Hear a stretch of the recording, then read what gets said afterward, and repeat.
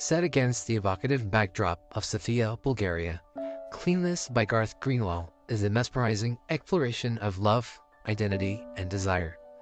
This novel follows an unnamed American teacher as he navigates the intricacies of human connection in a foreign land. From a titillating encounter with Gospodar, which means master, to a raw, heart wrenching moment with the little saint, Greenwell crafts a narrative that is as tender as it is powerful. The stories are imbued with themes of compromise, the transformative power of storytelling, and the delicate dance between love and cruelty. Why should you read it?